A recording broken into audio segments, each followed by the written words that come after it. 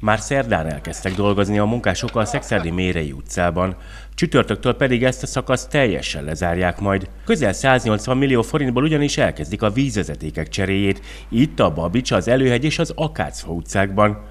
A fejlesztés első fázisa során a Mérei utca egy-egy szám előtt kezdenek dolgozni a szakemberek, ezért a Fürdőház és a Kiskadarka utcák közötti útszakaszon ideglenesen forgalomkorlátozás lép érvénybe, aminek során mindkét sávot lezárják. Emiatt ideglenesen a Mérei utca mindkét irányból Zsák utcaként funkcionál majd.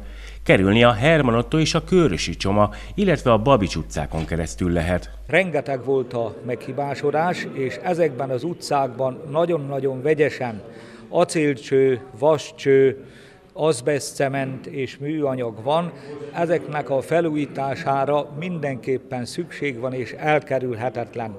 Lényege dolognak, hogy így a lakosságot jó minőségű, biztonságos vízzel, ivóvízzel tudjuk ellátni. A cél az, hogy az érintett utcákban egyszerre csak egy helyen dolgozzanak a szakemberek, így elkerülhető lesz, hogy egy időben a város több pontján is útlezárások legyenek.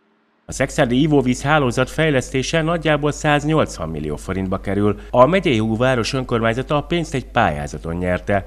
A munkálatok a tervek szerint 90 napig tartanak majd.